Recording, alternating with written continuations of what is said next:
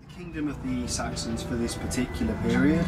So we are talking particularly for this burial, the Prittlewell princely burial, 570 to 605 AD. Now, in terms of the name of Prittlewell, we understand that Prittlewell comes from the Old English, means either place of the sparkling water, place of the babbling brook. It could refer to the brook that's actually going through the Prittlewell Priory, or they believe there may actually have been a spring somewhere in the area as well. How are we doing? Good morning. What do we know of the Prittlewell Prince? Um, There's a, there's a mound nearby. yeah, Oh, shockingly that's- very little. That's, that's, a good that's, start. that's as far as we know. No, absolutely, that's a great start. So, do you know where the Saxon King pub is? yes, So, yeah. if you follow the bend ground there on your left, that's essentially what you're looking at here. The excavations that took place in 2003. So, it was conducted by the Museum of London. Are you guys local? Do you know the area? So, you may remember the people in the tree houses many years ago. At the same time, they were trying the uh, campaign against the road widening was taking place. This excavation was going on. What they found was probably one of the most important burials from the Anglo-Saxon period. Uh, the earliest evidence of Christianity from the Anglo-Saxon period. These beautiful gold foil crosses here, they were placed over the eyes of the dead person. And again, what we've got essentially is a chamber burial. So it's someone who's been buried in a wooden chamber in the ground with all of these goods, we call them grave goods. Basically, if you've got grave goods, it's generally a pagan burial. So the big question we get asked is, was this person pagan, were they Christian? With the pagan objects you've got there, they've all got sort of elements of symbolism.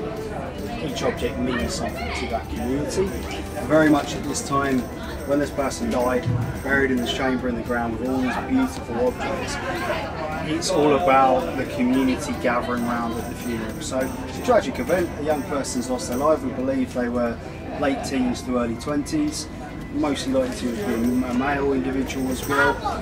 But that community's gathering, and whoever's buried this person is probably going to be the next ruler.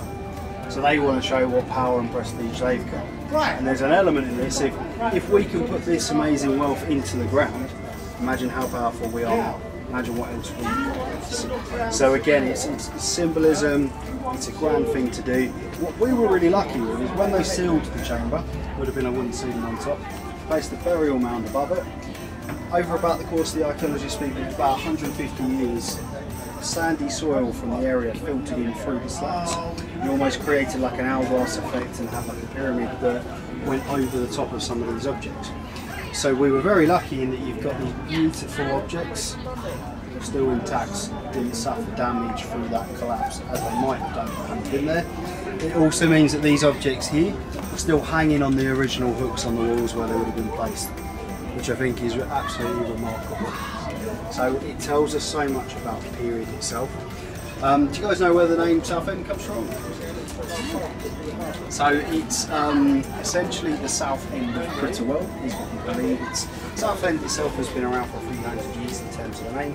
Prittlewell is your historic heart right? Prittlewell comes from either the place of the bubbling water or the place of the sparkling water. Might refer to the brook that goes through the middle of the park, or they believe there might be a spring somewhere underneath the priory.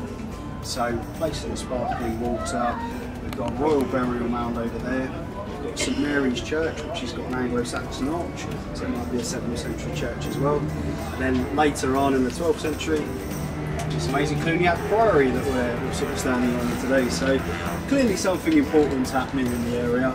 Um, the people at the time would have been part of the East Saxon kingdom. The East Saxon, that's where we get Essex from. Kingdom of the East Saxons.